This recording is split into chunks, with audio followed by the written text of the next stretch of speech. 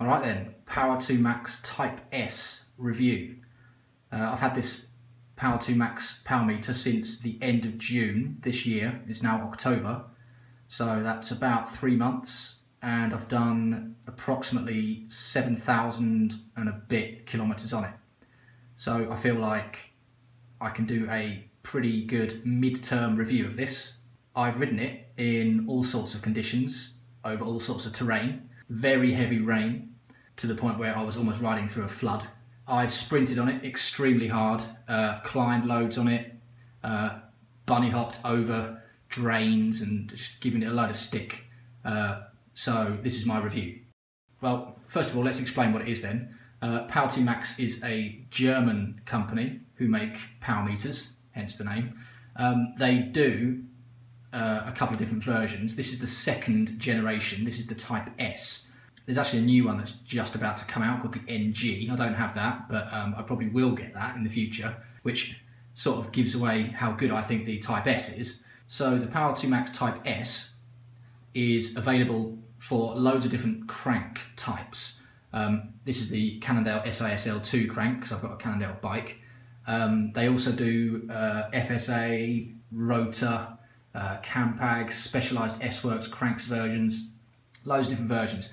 They don't do in the Type S a Shimano version, but with the new version, the NG, they will do a Shimano version, so you can get it for whatever you like. Um, this is a crank-based power meter. For those who don't know, power meters come in a variety of different sort of types, really.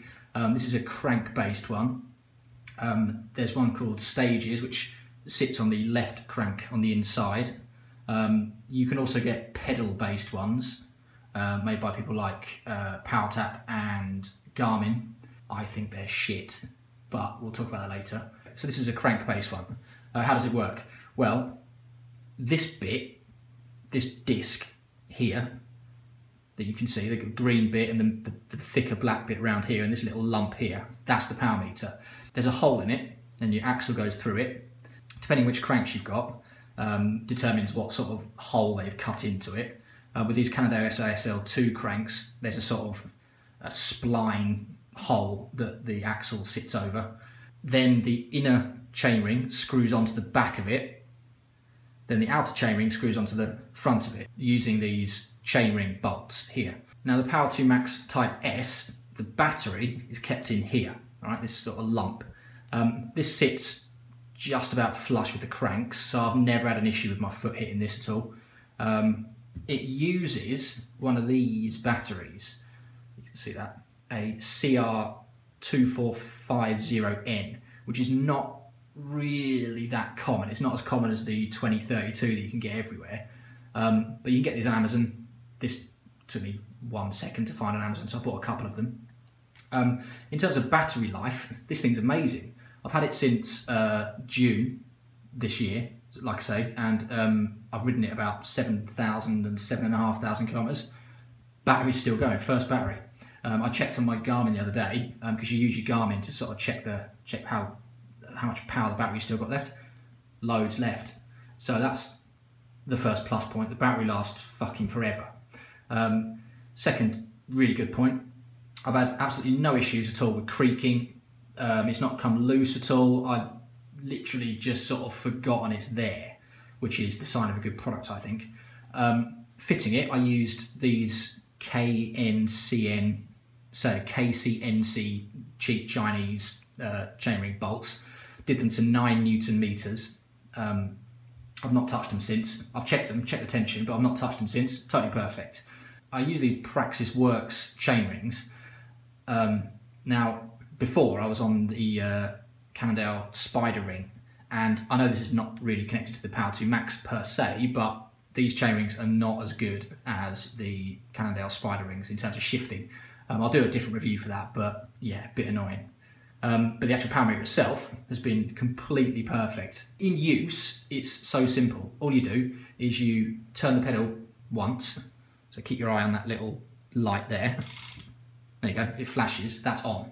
Then you wait for a couple of seconds and it just links up to your Garmin up the top um, and you're ready to go.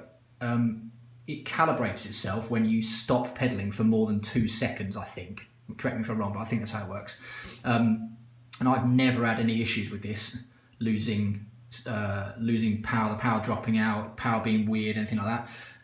The only the only issue I've had with it is once when I was out riding in some extremely extremely hot weather, forty degrees, um, and the power went a bit weird. Like it started registering much much lower than I should have been putting out.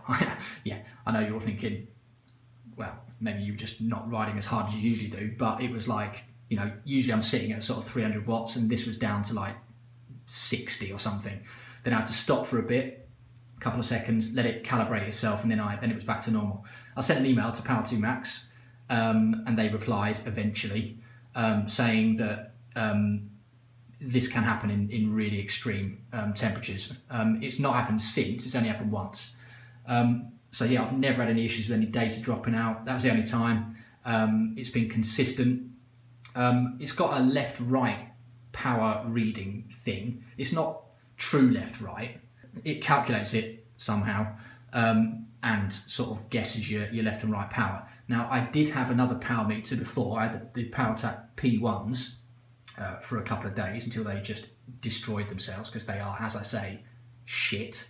Um, and the power readings on the PowerTap and the power readings on this one are pretty much identical. So, yeah, so there's not really a lot to say this. Um, it just works. It's like the Apple of power meters. Um, in terms of price, it's not the cheapest one. Um, the basic one, this is the basic one because you don't have to buy the crank arm, costs about $900, $800, so that's quite a lot of money. If you get one that's got a crank arm included, like the Campag ones, you're running into sort of $1,500 you know, it's getting up to that sort of price, which is, is getting a bit pricey. Um, but for something that just works and has no issues, and if you look across all the forums and stuff, nobody has issues with these. Something that just works is, I think it's worth the money. Um, negative points then, so let's talk about the negatives. It's not the lightest, it's not the lightest power meter. In terms of the total system, um, for this one, for the Cannondale one, I was on the Spider ring chain ring before, and the Spider ring, it sort of includes the spider as well as the chain ring, hence the name. The spider ring chainring was about 150 grams. These chainrings alone, these Praxis chainrings alone, are 150 grams. So the weight of the the entire weight of the power meter is the extra weight added to your bike. Now this unit here, the the Cannondale version, weighs about 185 grams. So you're, you're shoving 185 grams on your bike. you know, it, it's not the end of the world, but there are lighter power meter systems out there. However, like I say, the trade-off is this thing just works. Other thing that's a bit a bit annoying, um, changing the battery, getting the there's two rubber rubber plugs on the back here where the, the screws come through and uh, screw this sort of uh, plate on which covers the battery. Getting those out is an absolute bastard. Now that's perhaps a good thing because it means that you know they're sealed up pretty well. But you know, it's a bit annoying. They could have done that better.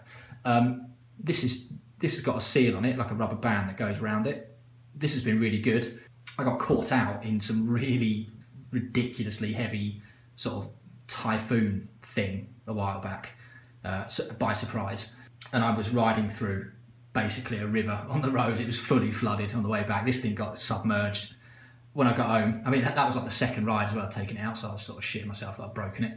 When I got home, I uh, managed to get these plugs out the back, uh, took this off, and there was like the tiniest bit of, like, not even like running water, just sort of condensation on the inside, and I wiped that out, and it's been totally fine.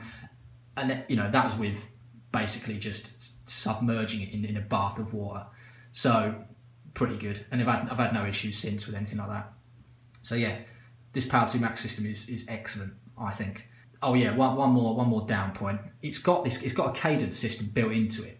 So if you don't have like one of these or, or equivalent on your bike, which sends cadence to your head unit, this thing will automatically send cadence, but it's really laggy. It's really laggy. So when you start pedaling, you don't see any cadence, and then it sort of catches up. This thing is is direct, so much better. So uh, you know, I they could have done better with the cadence on there. The actual system itself has about a two second lag on power, which you know I prefer it to be direct, but there's you know not a lot of them out there at the moment until the Shimano one comes along and shows everyone how to do it, uh, which are direct. So you know for, for, this sort of point in the history of engineering of power meters, yeah, it's all right. Yeah, so I definitely would recommend this. This is just brilliant. And that's it really. Oh yeah, and you can also you can choose what color sticker you get as well with it, which is obviously the most important thing. Uh, one more little negative. I don't really like the graphics on. I think the graphics are well naughties. Uh, this sort of laser etched white on black is just nah, not into that. They, if they'd have done that all just black or just left the graphics off, that'd have been much nicer. But yeah, so overall, absolutely brilliant. Really, really good. Recommended.